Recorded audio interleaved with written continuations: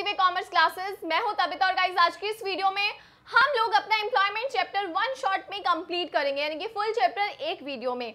तो गाइस सबसे पहले अगर आपने पूरे साल इस चैप्टर को नहीं पढ़ा तो डोंट वरी आप अब पढ़ सकते हो, लेकिन आपको अपनी बुक ज़रूर एक बार ओपन करनी है ताकि आपको पता रहे आप कौन सा टॉपिक पढ़ रहे हो और उसे रिवाइज कर सको। राइट अब स्टार्ट करते हैं गाइस अपना एम्प्लॉयमेंट चैप्टर जो कि बहुत आसान और बहुत हमारे आसपास ये सारी चीज़ें होती हैं। आपको पता है, बस उसको पहचानना ज़रूरी है। तो सबसे पहले अगर एम्प्लॉयमेंट का मतलब बताया जाए तो एम्प्लॉयमेंट क्या होता है गाइस तो एम्प्लॉयमेंट का मतलब होता है कोई भी ऐसी एक्टिविटी जिससे आप पैसा कमाते हो। और पैसा क्यों कमाते हो? जीवन को चलाने के लिए तो उसे एम्प्लॉयमेंट कहते हैं।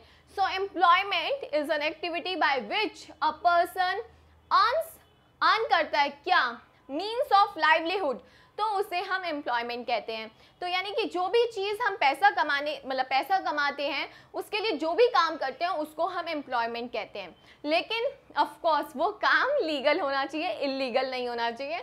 अदरवाइज़ वो एम्प्लॉयमेंट नहीं कहलाया जाएगा और उसके लिए हमें सजा हो सकती है राइट सो एम्प्लॉयमेंट क्या हुआ? Employment is an activity by which a person earns earn करते क्या? मीन्स ऑफ़ लाइवलीहुड तो उसे हम एम्प्लॉयमेंट कहते हैं।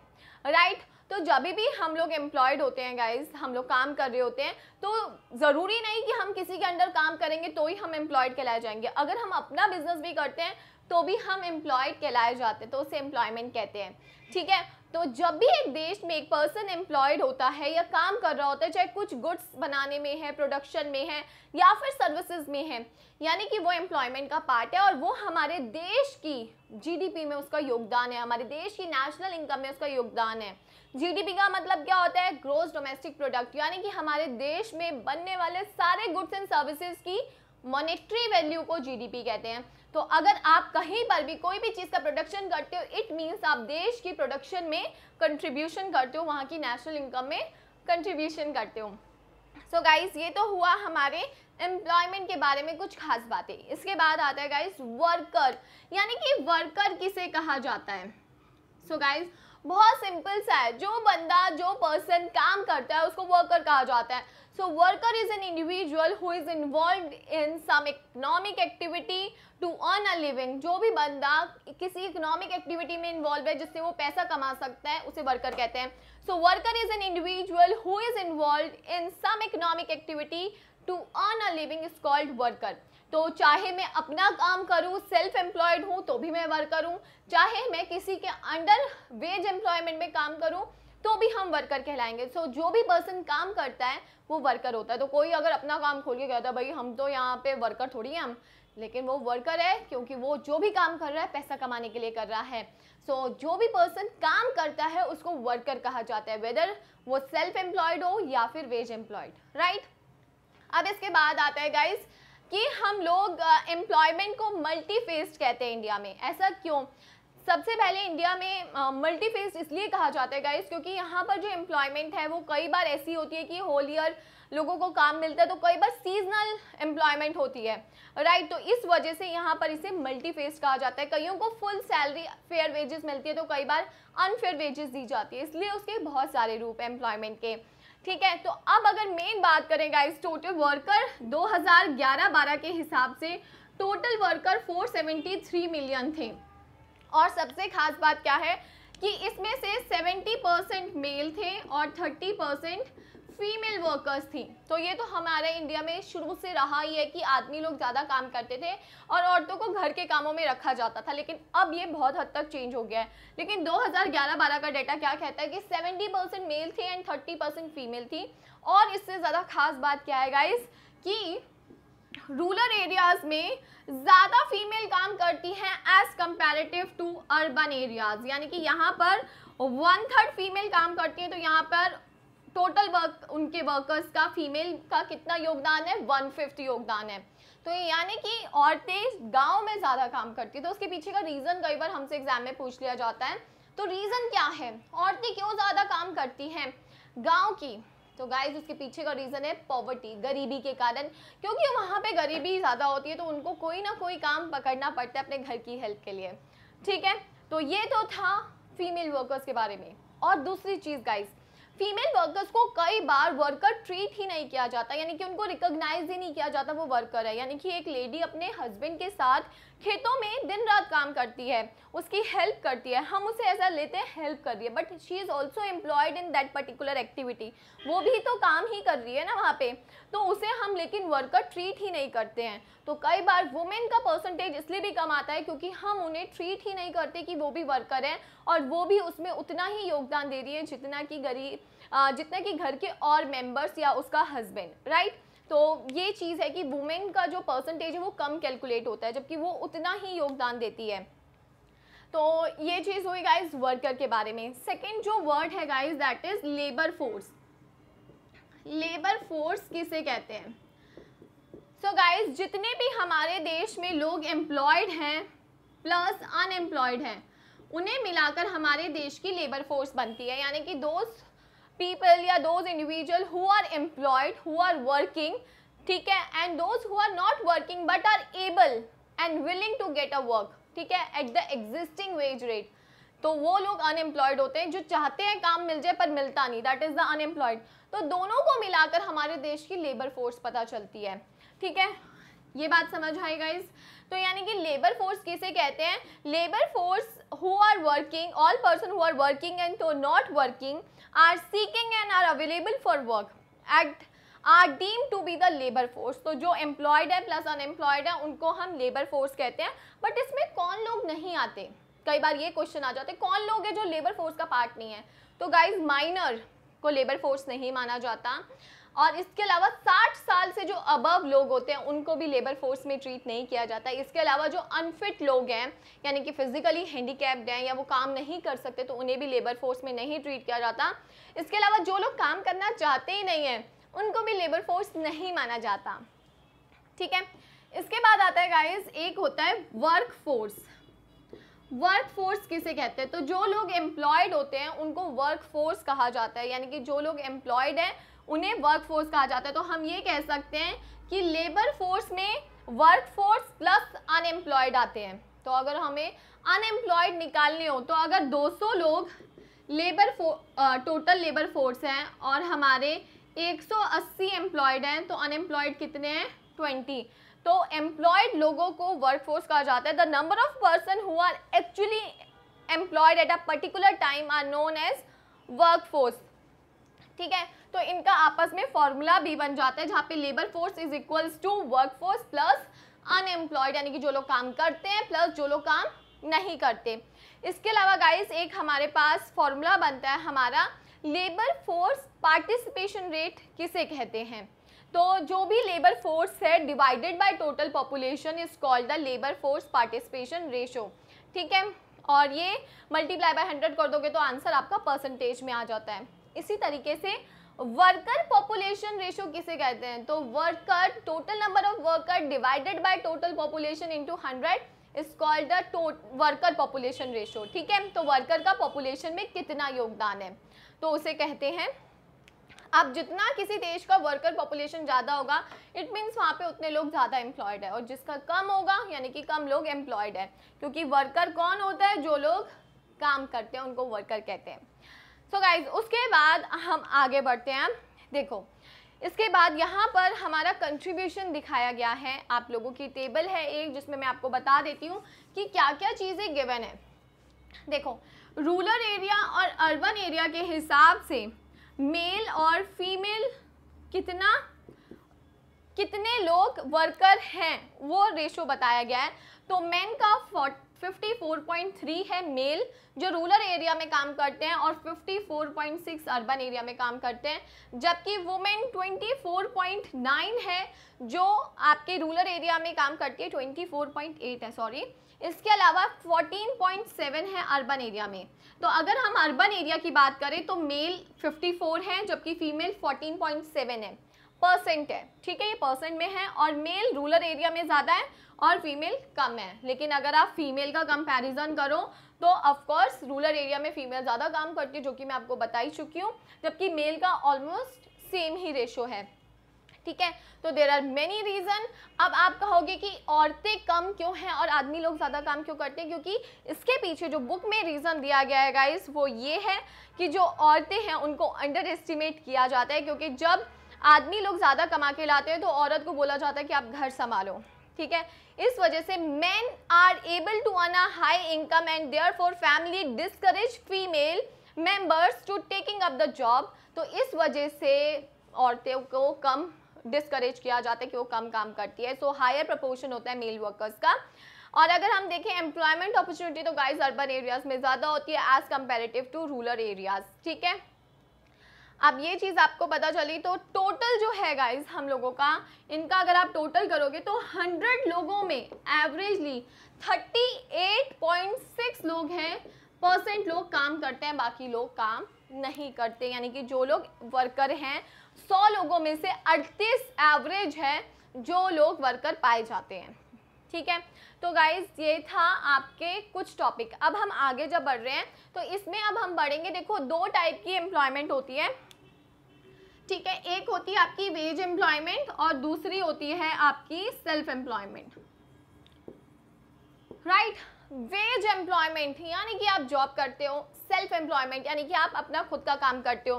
एंड सेल्फ एम्प्लॉयमेंट की डेफिनेशन क्या है? An arrangement in which worker use his own resources to make a living is known as self employed जबकि वेज एम्प्लॉयमेंट क्या होता है guys an arrangement in which a worker sell his labour and earn a wage in return is known as wage employment her book में अलग definition दी जाती है guys पर मतलब सबका सेम ही होता है। अब जो वेज है, यानी कि सेल्फ एम्प्लॉयमेंट तो गाइज़ अपने आप में एक अकेली पर्सनालिटी है, लेकिन वेज एम्प्लॉयमेंट दो टाइप की होती है। एक होता है आपका सैलरीड वेज एम्प्लॉयमेंट ठीक है, जिसे हम रेगुलर वर्कर भी बोलते हैं, या रेगुलर सैलरीड भी बोलते हैं, और इसके अलावा एक होते हैं हमारे कैजुअल कैजुअल वर्कर आ जाते हैं। यानी कि हमारी वेज एम्प्लॉयमेंट को टू पार्ट्स में डिवाइड किया जाता है। एक तो हमें उसमें सैलरीड एम्प्लॉयमेंट मिल जाते हैं और कैजुअल एम्प्लॉयमेंट मिल जाती है। अब इसमें क्या होता है गाइस सैलरीड वो होते हैं जिसमें हमारी फिक्स इनकम होती है। हम परमानेंट बेसिस पर लगे होते हैं। हमें बहुत सारे social security benefit PF gratuity वगैरह मिल रहे होते हैं। जबकि कैजुअल वर्कर्स में हमें ऐसा कोई भी बेनिफिट नहीं मिल रहा होता। हम परमानेंट बेसिस पर नहीं होते। अगर हम काम पर नहीं जाएँगे तो हमें पैसा नहीं मिलेगा, जैसे कि प्राइवेट जॉब जबकि गवर्नमेंट जॉब अगर आप देखोगे तो आपको वहाँ पे पैसा मिलता रहता है और बहुत सारे सोशल सिक्योरिटी बेनिफिट भी मिलते हैं। तो जनरली सैलरीड को गवर्नमेंट से रिलेट किया जाता है और कैजुअल को प्राइवेट से। सेल्फ बोले तो अपना काम। अब हमारे देश में बड़ा चौंकाने वाला जो डेटा है वो मैं आपको बताती हूँ। कि सेल्फ एम्प्लॉय टोटल 52 परसेंट यानी कि जो टोटल वर्कर हैं, उसमें से आधे से ज़्यादा लोग अपना काम करते हैं। यानी कि 52 परसेंट लोग गाइस सेल्फ एम्प्लॉयड हैं, जबकि सैलरी सिर्फ़ 18 परसेंट है और हमारे 30 परसेंट कैजुअल वर्कर हैं।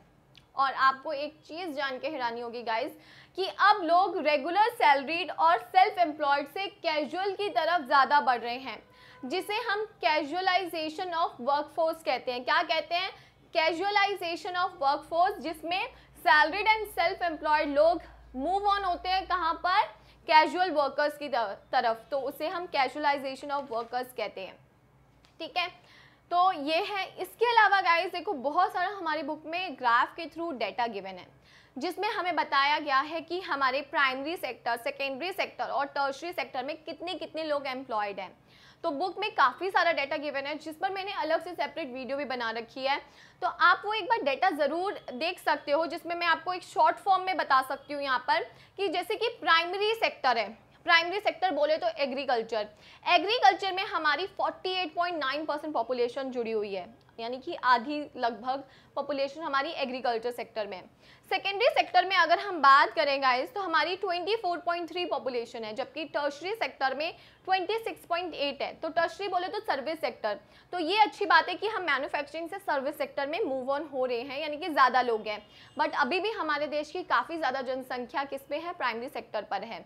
तो जितना ज़्यादा हम टर्शरी सेक्टर पर जाते हैं इट मीन्स हम डेवलपमेंट की तरफ़ उतना जाते हैं।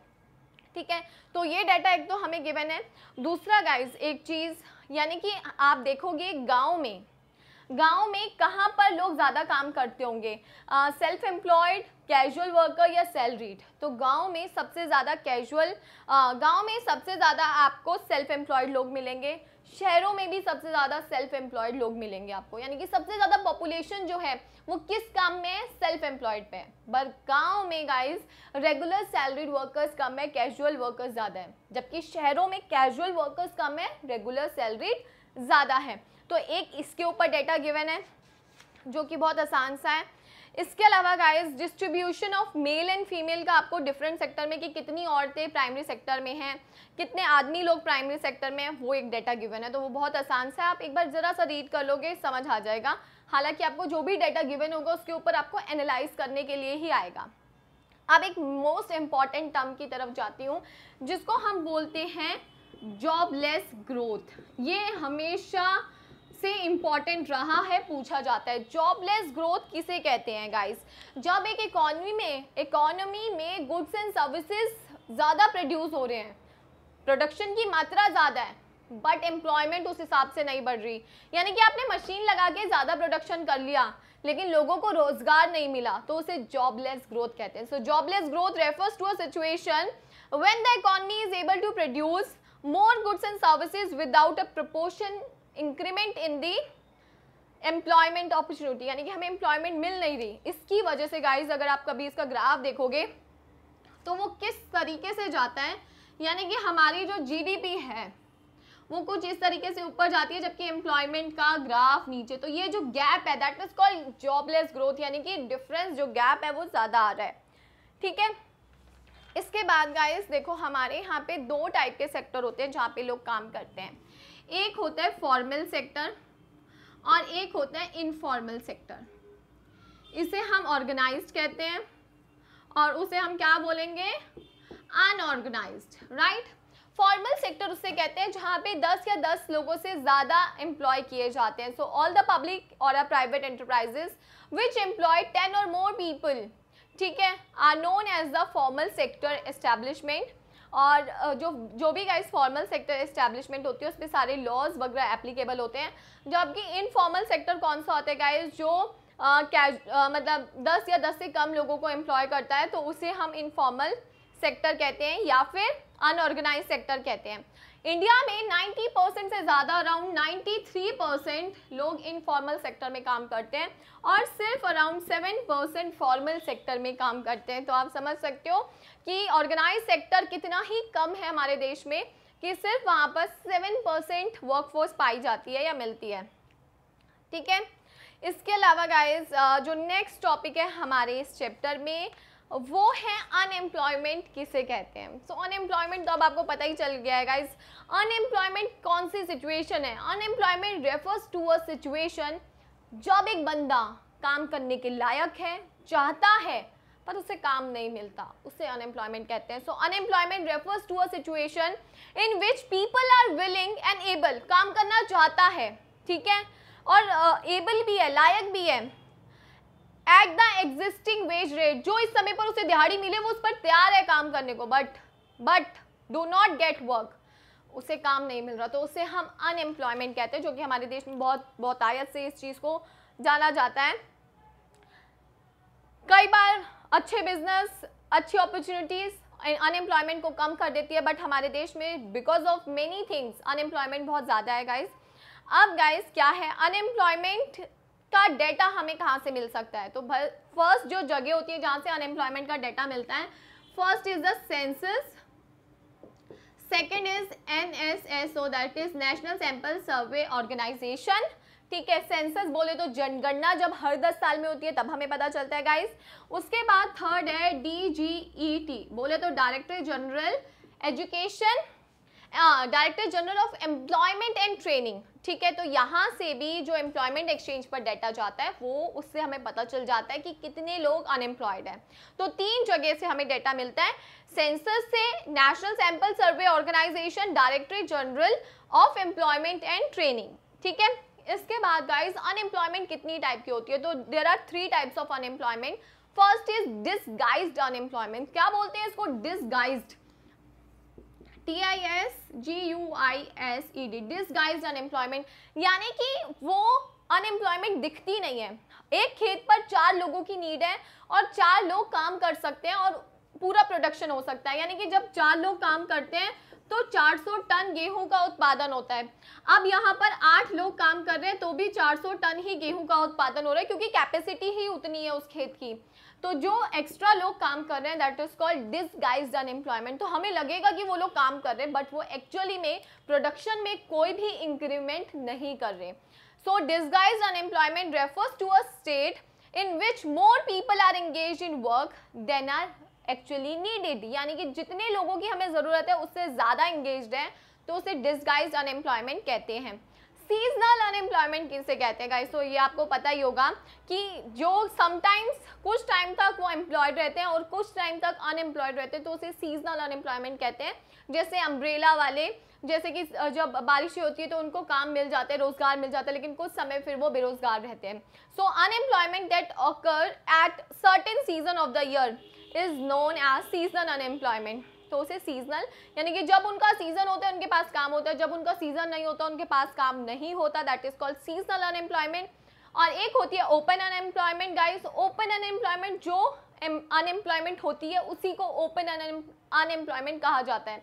यानी कि जो लोग काम करना चाहते हैं और उन्हें काम नहीं मिलता, उसी को अनएम्प्लॉयमेंट कहते हैं और उसी को ही ओपन अनएम्प्लॉयमेंट कहा जाता है.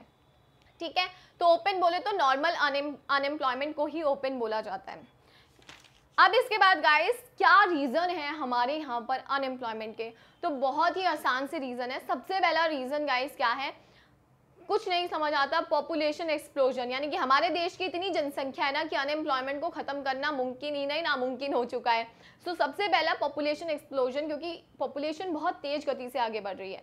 सेकेंड गाइज़ हमारा जो एजुकेशन सिस्टम है वो थोड़ा सा गड़बड़ा रखा है तो उसके लिए इन बुक में लैंग्वेज यूज़ करी गई है डिफेक्टिव एजुकेशन सिस्टम तो वो भी एक रीज़न है गाइस कि एजुकेशन सिस्टम इतना अच्छा नहीं है कि वो बारहवीं पास करने के बाद डिमांड करता है कि आप कुछ फर्दर स्टडी करोगे, तभी आपको नौकरी मिलेगी। तो इस वजह से भी अनएम्प्लॉयमेंट ज़्यादा फैलती है। सेकेंड गाइस जो हमारा slow rate of economic growth है, यानी कि इकोनॉमी की जो ग्रोथ होनी चाहिए आगे बढ़ने की, वो उतनी तेज नहीं है। एम्प्लॉयमेंट प्रोवाइड करने की वो उतनी नहीं है, जिस वजह से लोग अनएम्प्लॉयड रह जाते हैं, क्योंकि पॉपुलेशन तो अपनी तेज गति से आगे बढ़ रही है। बट इकॉनमी में प्रोडक्शन उतनी तेज़ी से नहीं बढ़ रहा है। इकोनॉमी में इंडस्ट्रीज़ उतनी तेज़ी से नहीं बढ़ रही, जिसकी वजह से लोगों को काम नहीं मिल पाता। तो slow rate of economic growth population explosion underdeveloped agriculture हमारा जो एग्रीकल्चर है गाइस वो भी अंडर डेवलप्ड है। पुराने मेथड यूज़ कर रहा है, जिसकी वजह से गाँव में अनएम्प्लॉयमेंट ज़्यादा मिलती है। इसके बाद गाइस डिफेक्टिव एजुकेशन सिस्टम बता दिया। स्लो ग्रोथ ऑफ़ इंडस्ट्री यानी कि इंडस्ट्री की जो ग्रोथ है, वो बड़ी स्लो है। जैसा कि मैंने आपको बोला कि इंडस्ट्री बनी नहीं रही है, नई इंडस्ट्रीज़ नहीं आ रही कि जो एम्प्लॉयमेंट अपॉर्चुनिटी प्रोवाइड करें। इसके बाद decline of cottage and small scale industry यानी कि जो हमारे समय के साथ guys small scale industry decline हुई है तो जो लोग पहले छोटे छोटे काम घरों में कर लिया करते थे एम्प्लॉयड रहते थे, अब वो लोग बेरोजगार हो गए हैं। नेक्स्ट है गाइस फॉल्टी प्लानिंग यानी कि देश में जो प्लानिंग करी जा रही है एम्प्लॉयमेंट को लेकर रूरल पॉपुलेशन के एम्प्लॉयमेंट को लेकर अर्बन पॉपुलेशन के एम्प्लॉयमेंट को लेकर या रूरल से जो अर्बन लोग माइग्रेट होते हैं, सारी प्लानिंग जो है वो फेल नज़र आती है। वो इतनी तरी, पूरी तरीके से सक्सेस नहीं हो पाती जिसकी वजह से अनएम्प्लॉयमेंट बढ़ती है। Inadequate employment planning faulty planning और इन एडुकेट एम्प्लॉयमेंट प्लानिंग यानी कि हम सोचते हैं कि एक लाख लोगों को रोज़गार मिलेगा लेकिन मिलता सिर्फ़ दस हज़ार पाँच हज़ार लोगों को है। That is the faulty planning इसके बाद है लो कैपिटल फॉर्मेशन गाइस जो देश में कैपिटल फॉर्मेशन है वो कम है। अगर मशीनें बनेंगी ही नहीं कैपिटल फॉर्मेशन क्या होता है गाइस जैसे मशीनें वगैरह बनाना। अगर मशीनें बने तो मशीनें आगे लगेंगी और लोगों को रोज़गार मिलेगा। लेकिन अगर हमारे देश में मैन्युफैक्चरिंग नहीं है, मशीनें नहीं है, बनती ही नहीं है तो हमें हर एक चीज़ बाहर से इंपोर्ट करनी पड़ती है राइट और वो इंपोर्ट कम अमाउंट में होता है। लेकिन अगर आप सोचो, हमारे देश के अंदर मशीनें बनने लग जाए तो उतनी ही ज़्यादा एम्प्लॉयमेंट अपॉर्चुनिटी बनाने वालों को भी मिलेगी और वो जहाँ लगेंगी मैन्युफैक्चरिंग में, उधर भी मिलेगी। तो लो कैपिटल फॉर्मेशन है हमारे देश में, जिसकी वजह से यहाँ पर अनएम्प्लॉयमेंट है। अब इसे दूर कैसे कर सकते हैं? तो गाइस जो आपने कमियाँ पढ़ी ना, जैसे कि पहली कमी थी slow rate of economic growth तो वो कहते हैं, भाई, इसे बढ़ा दो accelerating growth rate of GDP तो दूर हो जाएगा, यानी कि हमें अपनी ग्रोथ रेट को बढ़ा देना है। दूसरा, हमने पढ़ा पॉपुलेशन बहुत ज़्यादा है तो वो कहते हैं पॉपुलेशन को कम कर दो तो आप अपने देश में अनएम्प्लॉयमेंट कम कर सकते हो। थर्ड हमने पढ़ा अंडर डेवलप्ड एग्रीकल्चर तो वो कहते हैं अपने एग्रीकल्चर सेक्टर को डेवलप कर दो, यानी कि डेवलपमेंट ऑफ़ एग्रीकल्चर सेक्टर जिसकी वजह से अनएम्प्लॉयमेंट कम हो जाएगी। डिफेक्टिव एजुकेशन सिस्टम तो वो कहते हैं एजुकेशन सिस्टम को हमें सही करना है, जिसकी वजह से नौकरी लोगों को मिलने लग जाए। स्लो ग्रोथ ऑफ़ इंडस्ट्री तो वो कहते हैं कि ग्रोथ इंडस्ट्री की बढ़ा दो तो यानी कि जो जो अपनी कमियाँ बढ़ी हैं, अगर अब वो आपको याद है तो उनको सही कर दोगे। एजुकेशन सिस्टम को प्लानिंग को तो सारी हमारी एम्प्लॉयमेंट की अनएम्प्लॉयमेंट की दिक्कत दूर हो जाएगी। तो इस तरीके से गाइस अनएम्प्लॉयमेंट को दूर किया जा सकता है।